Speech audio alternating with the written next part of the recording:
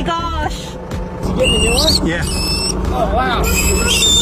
Đây là công việc ít được phổ biến nhất tại Mỹ, lúc làm việc căng thẳng đừng chớp mắt.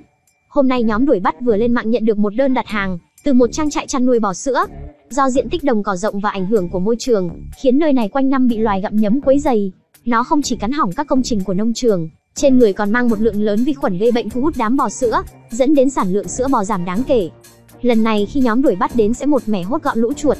Nhóm đuổi bắt quyết định bắt đầu từ phiến đá lề đường bên ngoài trang trại, nơi này có rất nhiều thức ăn thô xanh còn sót lại của gia súc được chất đống. Phiến đá tối tăm ẩm ướt là nơi ẩn náu tuyệt vời cho lũ chuột. Thợ săn nâng lề đường bằng xe nâng, quả nhiên có một con chuột to chạy ra ngoài. Chó săn nhanh tay nhanh mắt tiên phong tóm lấy, lũ chuột dưới phiến đá lần lượt lao ra, mặc dù tốc độ của chuột rất nhanh, nhưng đối mặt với sức mạnh tuyệt đối thì chẳng đáng nhắc đến. Oh, here's one. Good job.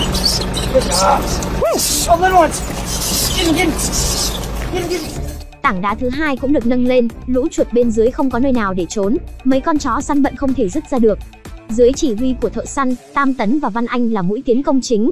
Văn Anh có vóc dáng nhỏ bé nhưng nó rất giỏi, nó cắn một con chuột lắc qua lắc lại điên cuồng. Còn Đăng Bái chịu trách nhiệm cho chuột vào thùng. Chỉ một thời gian ngắn, trong thùng đã có đầy một nửa chuột, đám chuột này sau này có thể dùng làm khẩu phần ăn cho một vài con chó. Xe nâng lại nâng một phiến đá khác lên, một con chuột nhỏ bên trong mở to mắt không biết phải làm sao. Nhiếp ảnh ra nằm xuống quan sát, cảnh tượng kinh ngạc xuất hiện, bên trong hàng chục con chuột lớn nhỏ chạy loạn xạ, thật quá nhiều chuột, cho dù chó săn có 8 cái miệng cũng không hạ gục hết chúng được. Thợ săn sử dụng con át chủ bài của mình, lấy trồn nước từ trong xe ra và đặt nó dưới phiến đá. Trồn nước như sói chui vào trong bắt lũ chuột, sức mạnh của con trồn nước này đúng là như bà lão đi lên cầu thang, không phục không được.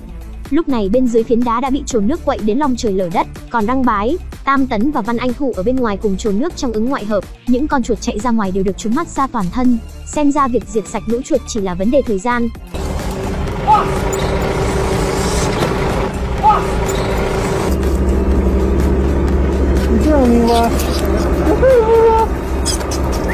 Nhiều không?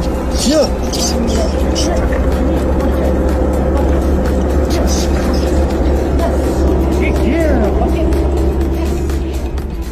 Lũ chuột chạy ra ngoài ngày càng nhiều, thợ săn có chút khó đối phó, thợ săn liền hóa thành chó săn gia nhập đội săn chuột.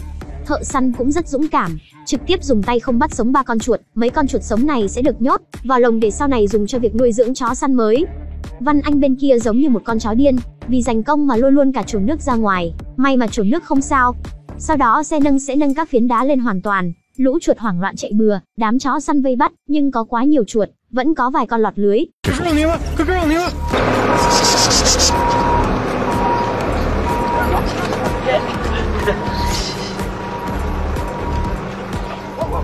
Công việc săn bắt không ngừng tiến hành, hai chú chó săn hoạt động 2 giờ liên tục đã kiệt sức. Sau khi việc săn chuột được giải quyết xong, thợ săn quyết định kết thúc công việc hôm nay trước.